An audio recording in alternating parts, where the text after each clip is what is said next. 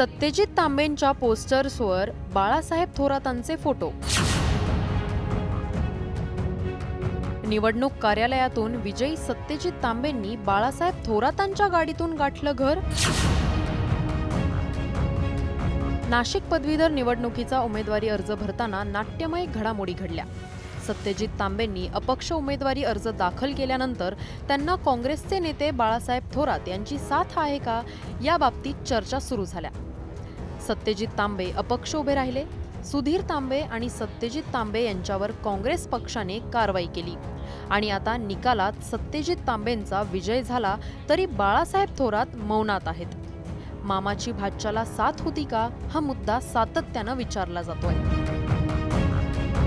या सगळ्यांबद्दल थोरातांची प्रतिक्रिया समोर न आल्यानं आणि सत्यजित तांबेंच्या विजयानंतर लागलेल्या फलकांवर थोरातांचे फोटो दिसल्यानं आता ही चर्चा मोठ्या प्रमाणावर होऊ लागली आहे. सत्यजित तांबे यांच्या विजयानंतर तांबेंच्या कार्यकर्त्यांनी पोस्टरबाजीवर बाळासाहेब थोरातांचे फोटो लावलेत. बाळासाहेबांच्या गाडीतूनच विजयी सत्यजित तांबे घरी गेले. इतकंच नाही तर सात फेब्रुवारीला बाळासाहेब थोरातांच्या वाढदिवसानिमित्त तालुक्यात मोठ्या प्रमाणावर तांबेंच्या कार्यकर्त्यांनी जोरदार तयारी केली आहे.